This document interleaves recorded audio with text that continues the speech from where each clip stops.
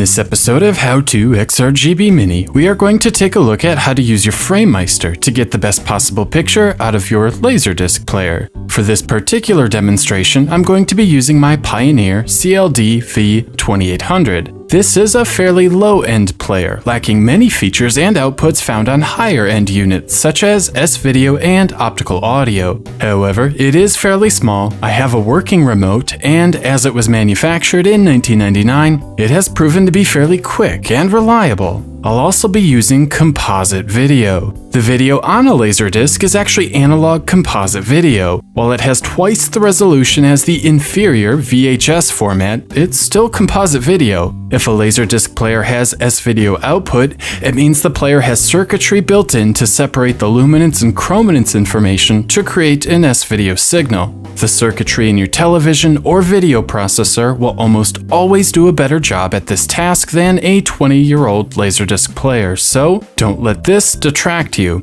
If you're curious, I use the SMPTE color bar pattern found in a Criterion Laserdisc to dial everything in, so with that, here are the settings that I use. Please note, if you're playing a full screen movie instead of a widescreen movie, change the screen set to standard.